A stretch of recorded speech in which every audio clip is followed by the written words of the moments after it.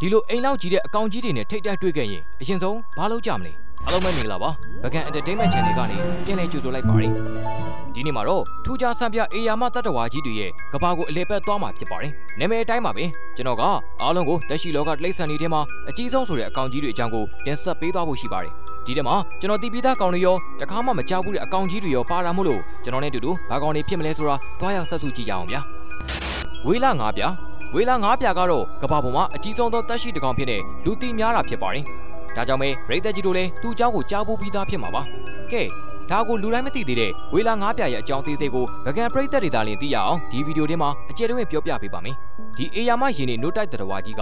ပေတရာနဲ့30မီတာတိရှည်လျားပြီးတော့အလေးချိန်ကတော့တန်ချိန်200ကျော်တောင်ရှိပါတယ်။ရှေခေကြောက်စရာမက်ဂလဒန်ငမန်းတွေတော့အလွန်ဆုံးမှာပေ60ပဲရှိတာကိုဒီဝေလာငါးကတော့ပေတရာတောင်ကျော်နေပါတယ်ဗျ။ ပြီးရင်သူတို့ကိုကမ္ဘာသမုဒ္ဒရာတွေဖြစ်တဲ့ Atlantic Pacific နဲ့အိန္ဒိယသမုဒ္ဒရာတွေမှာတွေ့ရနိုင်ပါတယ်။ဒီလောက်အရွယ်စားကြီးမားတဲ့ဝေလာငါးပြားတွေမှာအလွန်ထူးဆန်းတဲ့စားတော့ပုံစားတော့နည်းတွေရှိပါတယ်။အရွယ်စားကြီးမားလေလေအာဟာရပြည့်ဖို့အစာများများစားရလေဆိုတော့သူတို့တို့အာဟာရပြည့်ဖို့ဆိုရင်ရင်းနေတတ်တော်အကောင်ကြီးတွေကိုရှာဖွေစားတော့ဖို့လိုမယ်လို့ထင်ကြတယ်မလားဗျ။ဒါပေမဲ့ဒီကောင်တွေကအရွယ်စားကြီးပါတဲ့အကောင်တွေကိုရှာဖွေစားတော့လို့မရှိပဲအလွန်သေးငယ်တဲ့ပဇွန်စိတ်ငယ်လေးတွေကိုပဲစားသုံးကြပါတယ်။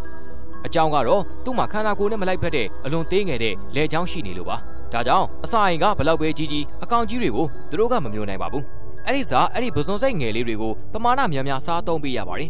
နို့တိုက်တဲ့ရာသီမျိုးမှာဆိုရင်ဝေလာငါးပြားတစ်ကောင်ဟာတနေ့ကိုပဇွန်စိတ်ပါအကောင်တန်း40လောက်စားသုံးကြပါတယ်သူတို့ရဲ့နာမည်ဖြစ်ပေါ်လာတဲ့အကြောင်းရင်းကတော့သူတို့ခန္ဓာကိုယ်မှာအပြာနဲ့မိခိုးရောင်ပေါင်းဆက်ထားတဲ့အယောင်မျိုးဖြစ်နေပြီးနေထိုင်တဲ့ပင်လယ်ပြပြနဲ့လိုက်ဖက်လွန်းလို့ဝေလာငါးပြားလို့ခေါ်တွင်လာခဲ့တာပါ ဒါပြင်ဒီကောင်တွေကအရွယ်စားတဲ့အကြီးဆုံးဖြစ်နေတာမဟုတ်ပဲသူတို့ရဲ့အတန်ကားလေးလောကမှာကျေဆုံးပါ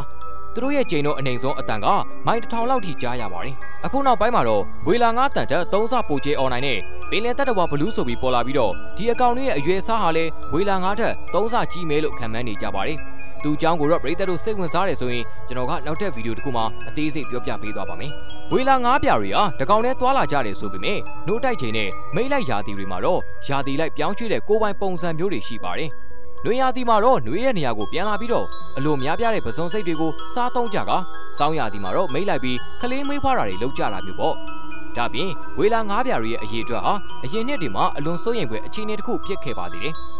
1960ခုနှစ်မှာဒီဝေလာငါးတွေကိုဖမ်းဆီးပြီးတော့ရောင်းချတာကြောင့်မျိုးတော်လူမတက်ဖြစ်ခဲ့ရပြီး1986ခုနှစ်မှာတော့နိုင်ငံတကာဝေလာငါးကောက်ွယ်စောင့်ရှောက်ရေးအဖွဲ့အစည်းကနေဒီကောင်တွေကိုဖမ်းယူရောင်းချခွင့်ကိုပိတ်ပင်လိုက်တာကြောင့်သူတို့ရဲ့ကျေးဇူးနဲ့ပဲအခုချိန်မှာတော့ဝေလာငါးတွေဟာပုံမှန်တိုင်းပြန်ဖြစ်လာခဲ့ပါပြီ။ဒါပေမဲ့ဝေလာငါးပြတွေကစိတ်ချထားလို့မရသေးတာကြောင့်ဒီကောင်တွေကကမ္ဘာပေါ်မှာအချိန်ကြာကြီးနေထိုင်ဖို့ကိုအများကြီးစူးစမ်းရအောင်ပါပါ။အာဖရိကဆင်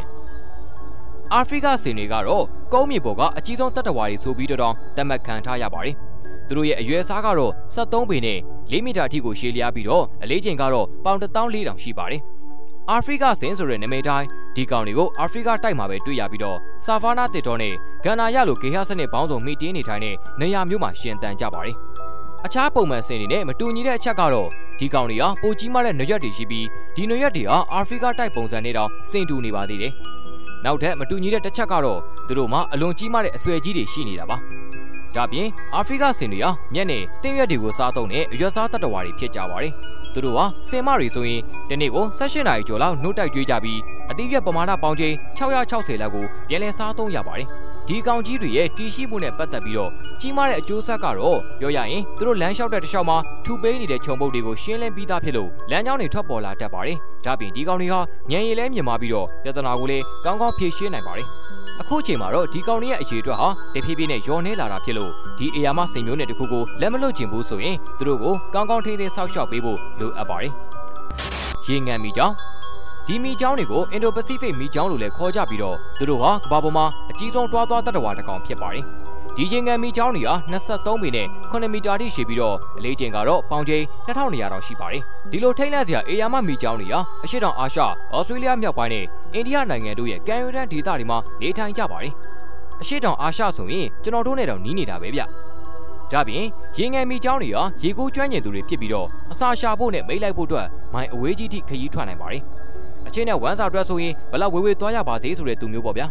သူတို့သားကောင်ရှာတဲ့နီလန်ကခြုံပုတ်တွေထဲမှာပုံအောင်နေပြီးတော့သားကောင်ကိုစိတ်ရှည်ရှည်နဲ့စောင့်ကအနားရောက်မှတွေ့ချလိုက်တာမျိုးပါရေငယ်မိချအမတွေကဥတခါဥမယ်ဆိုရင်40ကနေ60ထိဥတက်ကြပြီးတော့အခုချိန်ထိဩစတြေးလျနိုင်ငံတွေမှာအရေးအတွက်တိုးလာတယ်ဆိုပေမဲ့တခြားနယ်ပယ်တွေမှာတော့အရေးအတွက်လျော့နေလာလို့မျိုးသုံးမှာကိုစိုးရိမ်နေရပါပြီ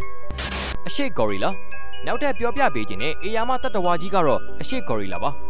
အရှိဂေါ်ရီလာကိုမှသူတို့ဟာတောင်ပေါ်ဂေါ်ရီလာနဲ့အရှိဘက်မြင်တဲ့ဂေါ်ရီလာဆိုပြီးရုံးနယ်ခွဲနှစ်ခုရှိပါသေးတယ်။ဒီကောင်တွေကကမ္ဘာပေါ်မှာအကြီးဆုံးလူဝင်တွေပါ။အရွယ်ရောက်ပြီးသားအရှိဂေါ်ရီလာအထီးတွေကို silverback လို့ခေါ်ကြပြီးတော့အကြောင်းရင်းကတော့သူတို့မှာငွေရောင်စပင်ရှိပြီးသူတို့ရဲ့နောက်ကျောပြင်ဟာပေါင်းချိန်444ချိန်ထိတည်မနိုင်ကြလို့ပါသူတို့ရဲ့အရက်ကတော့9ပေ6ဖြစ်ပြီးအလွန်ထူထပ်တဲ့တစ်တော်တွေတောင်တန်းတွေနဲ့အာဖရိကအလဲပိုင်းနဲ့အရှေ့ပိုင်းဒေသတွေမှာနေထိုင်ကြပါတယ် နောက်ပြီးဒီကော်ရီလာရီဟာတရွက်ပင်စီနဲ့တစ်သီးတွေကိုစားသုံးကြတဲ့အရွက်စားတတ်တော်ဝါတွေပါကော်ရီလာရီဟာအုပ်စုဘက်နေတက်ကြသူတွေဖြစ်ပြီးခုနကပြောခဲ့တဲ့ silver bat လို့ခေါ်တဲ့ကောင်းတွေကအုပ်စုကိုဦးဆောင်ပြီးတော့ကောက်ွယ်ပေးကြရပါတယ်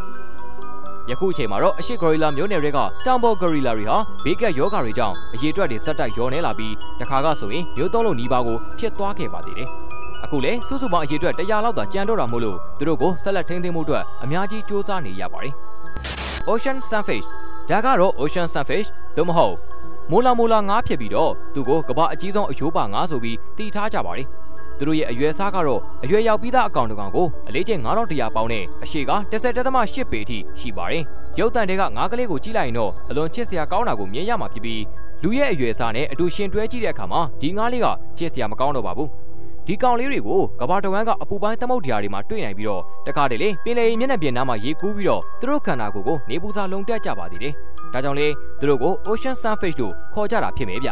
။သူတို့ရဲ့ခန္ဓာကိုယ်ပုံစံကတော့ပြပြဝဝိုင်းလေးနဲ့ချစ်စရာကောင်းနေပေမဲ့မျက်နှာကတော့ငှက်နှုတ်သီးလိုပါးစပ်မျိုးမှာအဆွဲသေးသေးလေးတွေနဲ့ပြည့်နှက်နေပါတယ်။ဒီကောင်တွေကအရွယ်စားကြီးမားတယ်ဆိုပေမဲ့လူတွေကိုတော့အန်တီရမပေးသလိုစိုးရိမ်စရာလည်းမရှိပါဘူး။ ဒါပေမဲ့ဒီငါးတွေဟာလည်းယခုချိန်မှာအားနေနေတဲ့တလိษံစည်ရင်းထဲမှာပါနေပြီးတော့ဒါဟာလူတွေပြုတ်လုပ်တဲ့ပလတ်စတစ်စွန့်ပစ်ခြင်းတွေသမုတ်တရားရေကိုညဉ့်ညမ်းစေတဲ့လုပ်ရက်တွေကြောင့်ပါပါတယ်။ဒါကြောင့်ကျွန်တော်အနေနဲ့ပင်လယ်တပ်တော်တွေကိုချစ်မြတ်နိုးတယ်ဆိုရင်ပလတ်စတစ်သုံးစွဲမှုကိုရှော့ချမှဖြစ်မယ်ဗျ။ငှက်ကလည်းအုပ်ဒါကတော့ကမ္ဘာပေါ်မှာအကြီးဆုံးနဲ့အလေးဆုံးငှက်မျိုးနေပါဒီကောင်တွေဟာအရွယ်ရောက်ပြီးသားသားကောင်တစ်ကောင်ရဲ့အရက်ဟာ6ပေမြင်ပြီးတော့အလေးချိန်ကတော့ပေါင်ချိန်320တောင်ရှိပါတယ် ဒီလိုတိုက်ခိုက်လေးမရှိတဲ့ငှက်တွေဟာဆာဗာနာနဲ့အာဖရိကမြက်ခင်းပြည်နယ်မှာဇာတိချက်ကျွေးနေထိုင်ကြပါတယ်ပြီးတော့ဒီငှက်ကလအိုဟာအရွယ်စားကြီးတာတစ်ခုတည်းနဲ့နာမည်ကြီးတာမဟုတ်ဘဲသူပြေးတယ်တဲ့အချိန်ကြောင့်လဲလူသိများပါသေးတယ်ပြောရရင်အကြီးဆုံးနဲ့အပြည့်မြတ်ဆုံးငှက်ပေါ့ဗျာသူတို့မှအလွန်ရှည်လျားတဲ့ခြေထောက်တစ်စုံပိုင်ဆိုင်ထားတော့တနအီကို43မိုင်လုံးတော့ပြေးနိုင်ပါတယ်ဒါပြင်ဒီကောင်တွေဟာအလွန်ချွန်ထက်ပြီးတော့တန်မာတဲ့ခြေသေးတွေကိုလည်းပိုင်ဆိုင်ထားတော့ရန်သူကိုပြင်းထန်တဲ့ခြေထောက်တိုင်းကွက်တွေနဲ့အနိုင်ယူလို့ရှိပါတယ်ဗျာအစိမ်းရောင်အန်နာကွန်တမွေ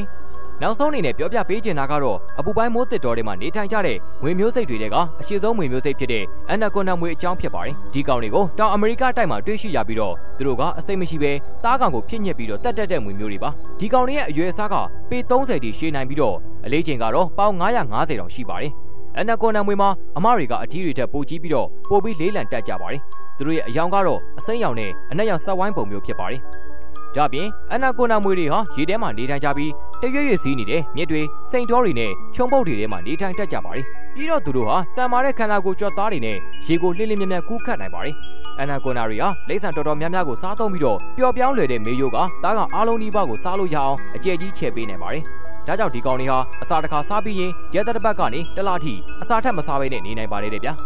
ဟုတ်ကဲ့ပါဗျာဒီနေ့မှာတော့ကျွန်တော်တင်ဆက်ပေးခဲ့တာကကဘာပေါ်မှာအကြီးဆုံးဘိုးဆွဲထားတဲ့တလိမ့်ဆန်တွေအကြောင်းပဲဖြစ်ပါတယ်နောက်ထပ်လည်းဒီလိုစိတ်ဝင်စားစရာကောင်းတဲ့အကြောင်းအရာတွေကိုနေ့စဉ်တင်ဆက်ပေးသွားမှာဖြစ်လို့ကျွန်တော်တို့ရဲ့ channel လေးကိုလည်း like and subscribe လုပ်သွားကြဖို့မမေ့ပါနဲ့ခင်ဗျာ